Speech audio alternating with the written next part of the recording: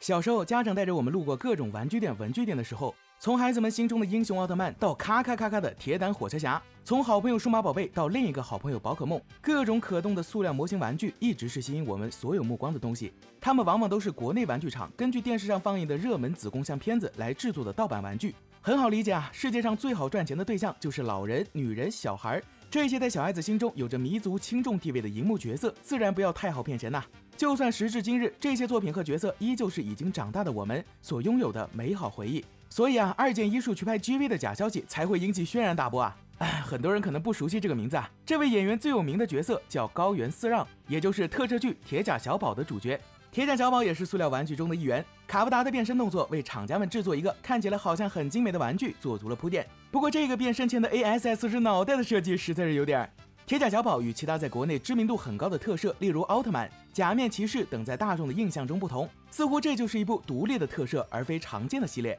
那么真实情况呢？在二十世纪九十年代和二十一世纪初，大陆引进了几部制作优良的特摄，包括迪迦奥特曼、百兽战队等等。他们的共同特点都是在日本久负盛名的系列作，而其中奥特曼更是引进过不止一部。与奥特曼和战队齐名的假面骑士系列并没有被大陆引进过，但 TVB 曾经引进过很多部，在大陆也有过很多光盘贩售。选择有名气的作品进行引进，本身也是一种兜底的行为。而日本除了奥特曼、假面骑士、战队这三大特摄之外，当年还有一部叫《金属英雄》的特摄系列。这个系列诞生于空档期，一九八二年。当时昭和假面骑士第二期完结，东映手边的特摄只剩下战队了。于是他们决定砸钱砸出来一个全新的特摄系列，号称超越假面骑士的单人英雄。这部片子叫做《宇宙刑事 Gavin》，也是金属英雄系列的第一部片子，足足花费了够制作两个新特摄英雄的预算啊！同时首次在特摄中使用影像合成技术，可以说啊是孤注一掷了。最终的结果自然是大获成功，最高时百分之十八点六的收视率，足以说明东映的决定啊是多么的正确。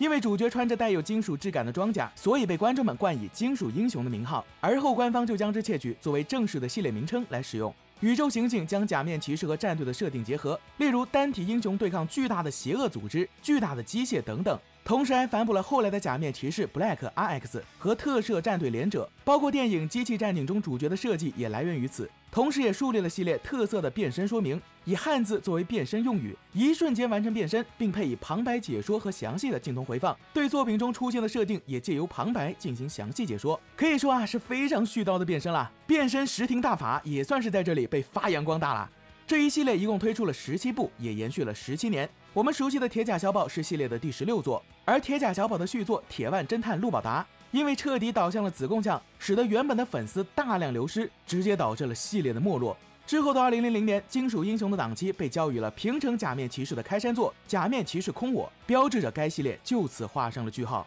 金属英雄的没落的确与子贡像的风格有着直接的关系，但是铁甲小宝和续作《铁腕侦探》绝非系列突然暴毙的根源。金属英雄第一次严重的滑铁卢的原因是过于成人化。系列的第六部作品《超人金米涛德》也是口碑最好的一部，以著名的人造人间电脑奇侠为蓝本创作，但是因为太过于成人化，导致收视率很低，以至于将原定的五十集破到了三十九集紧急完结。后来被系列第九作《特警维斯班特》挽回了收视率。这么说有些平淡啊。那么，特警 Winspector 至今仍是周日早上八点放送的特摄番组的最高收视保持者。而且，小林镜子阿姨啊，就是因为本作才决定去当脚本家，同时还差点让自己的同事战队系列彻底完结啊。幸得巅峰期的井上敏树大魔王救命，才活了下来。这样说是不是能体会究竟有多牛逼了呢？可惜哥哥牛逼不等于弟弟也牛逼。同世界观的第三作《特搜 x o f t》就全程梦游，世界观捏合了莫名其妙的外星人和神魔战争等题材，结果又因为收视率不行，所以强行跟前两作扯上关系，变成同世界观，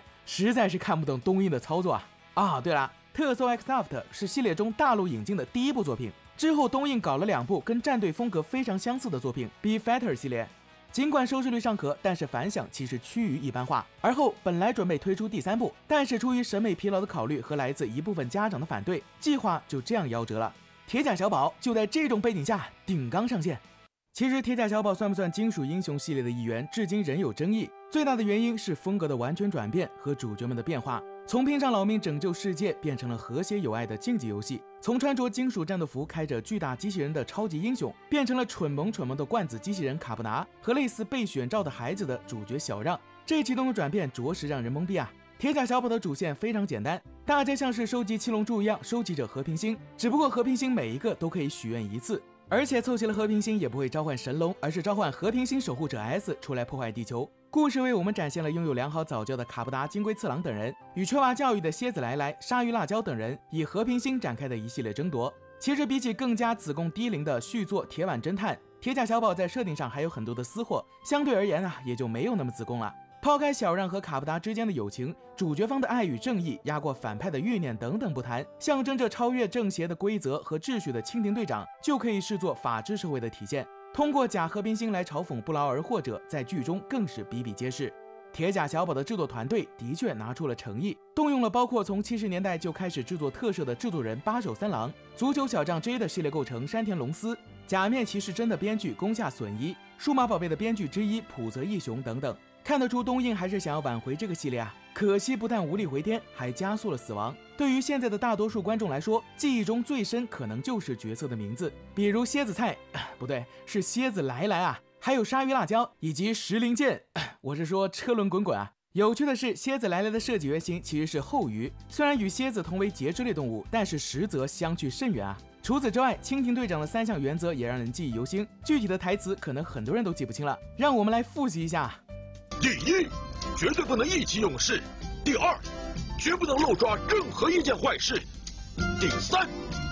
绝对裁判公正漂亮。我是裁判机器人蜻蜓队长。当年观众们都觉得，凭什么你这么屌，所有人都要听你的？三十二集看到他被踩扁，还觉得应该。结果三十三集啊，红色蜻蜓队长闪亮登场，直接把所有人的狗头都打烂，立刻就全都心服口服了。对于很多人来说，蜻蜓队长可能才是铁甲小宝中真正的超级英雄。炫酷的出场方式，强大的实力，神秘的背景，无不凸显出英雄魅力所在。而且，蜻蜓队长的外观设计也算是对金属英雄系列传统主角的一种精神继承。虽然巨大机器人被鲨鱼辣椒和卡布达拿去了，但是作为作品中罕见的人形机，蜻蜓队长的地位不可动摇。在 TV 正片之外，铁甲小宝还有两部剧场版。相比于上过电视的 TV 版，看过剧场版的观众可能就更少了。一部是现在特摄常用的前辈后辈交接剧场，卡布达在铁腕侦探中客串了一把，没什么好说的。而另一部则是年底特别篇《圣诞大决战》。在《圣诞大决战》中，作品一反常态的不是那么子宫像，大反派、邪恶机器人、杂兵、前辈玩具具象化联动等等，或许也是制作组对东映上层的一次无言抗争吧。在 TV 版的最后，主角们集齐了全部的和平星，然后和平星守护者 S 出现，想要毁灭地球。在蜻蜓队长的主持下，与卡布达、小让他们进行竞赛来决定对错，最终达成和解。大家领悟到了和平的真意。铁甲小宝在日本播出之后，虽然收视率并没有坍塌，但反响也并不是那么好。只有老观众抱着说不定东映还能再自救一次的心态去继续观看了《铁腕侦探》，然后系列就此终结。对于观众而言，铁甲小宝是很重要的童年回忆之一。当年在大陆的热度更是不在迪迦奥特曼之下。不过由于种种原因，这样的热度并没有支持系列继续走下去，续作《铁腕侦探》也并没有引进到大陆的电视台播放。作为东映曾经最重要的系列之一，金属英雄的影响至今仍然可见，包括系列中的角色在战队中客串，设定被假面骑士和战队拿去借用等等。对一个系列作品而言，走过十七年是很不容易的事情。世界上那么多的英雄和怪兽形象，树立起 IP 的并不多见。就算是漫威和 DC，也常常会腰斩掉他们的新英雄。哥斯拉和金刚这样的怪兽片就更少了。加美拉这样的日本国民级怪兽也没能成功走出国门。观众是很容易满足，但是又非常挑剔的人群。如何摸准观众的口味，是每个制作团队所要研究的内容。对于系列作品而言，就更难了。然而，这部原本被判死刑的作品，却在中国影响了一代观众。时至今日，蝎子来来、蟑螂恶霸、鲨鱼辣椒、车轮滚滚这些名字还会时不时的在聊天中或者表情包里出现，而蜻蜓队长的绝不三段式似乎也从没在我们的眼前消失过。铁甲小宝卡布达终究是很多人的童年，即使有着许多问题，但它依然是很多人心中的净土。或许如今的我们早已忘记了故事究竟讲了什么，但最让人怀念的，或许其实是当年抱着电视追剧的那份心情吧。时光慢慢流逝，许多人喜欢上了别的东西，可再次点进那个世界中，看到的依旧是曾经的人们在寻找着我们曾几何时都最想要的和平心的奋斗的身影。曾经你最喜欢的是哪个故事呢？如今的你还能想起的又是哪些故事呢？不介意的话，就在评论区分享给我们吧。感谢收看本期 A C G 文录，我是玩偶君，我们下期再见。